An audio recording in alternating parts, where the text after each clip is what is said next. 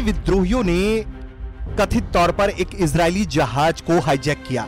यह जहाज़ तुर्की से भारत की तरफ़ आ रहा था। इस वक्त हुती विद्रोही हमास का समर्थन कर रहे हैं और इसराइल के खिलाफ खुलकर जंग के मैदान में हैं।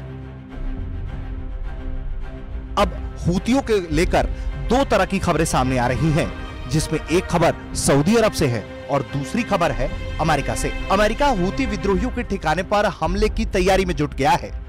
सूत्रों की माने तो जल्द ही अमेरिका की तरफ़ से ये हमले शुरू हो सकते हैं।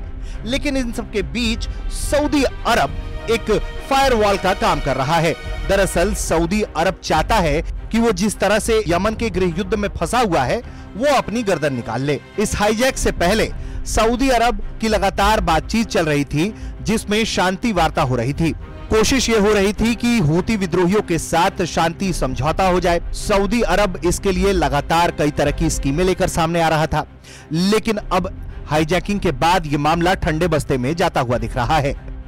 इसके पीछे का कारण यह भी है कि हूतियों के इस हाईजैक के बाद से लंदन और वॉशिंगटन में हूतियों को एक आतंकवादी संगठन के रूप में फिर से नामित करने का दबाव बढ़ रहा है, जो किसी भी समझौते के लिए खतरा हो सकता है। माना यह जा रहा है कि गैलेक्सी लीडर को हाईजैक करने के बाद अब अमेरिका हूतियों के ठिकाने पर हमले की तैयारी कर रहा है।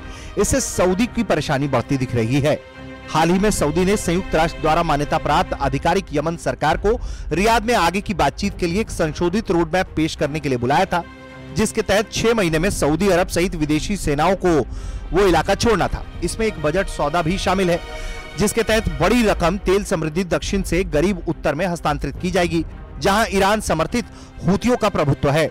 समझौते के आलोचकों का दावा है कि यह हुतियों को सशक्त बनाता।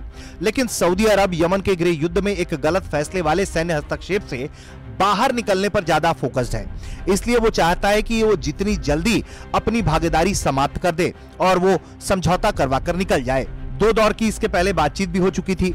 लेकिन हूती विद्रोही लगातार इस बातचीत का विरोध कर रहे हैं, क्योंकि संयुक्त राष्ट्र समर्थित यमनी सरकार का जो प्रतिनिधित्व करते हैं, हूती विद्रोही उसके ठीक विपरीत खड़े हैं।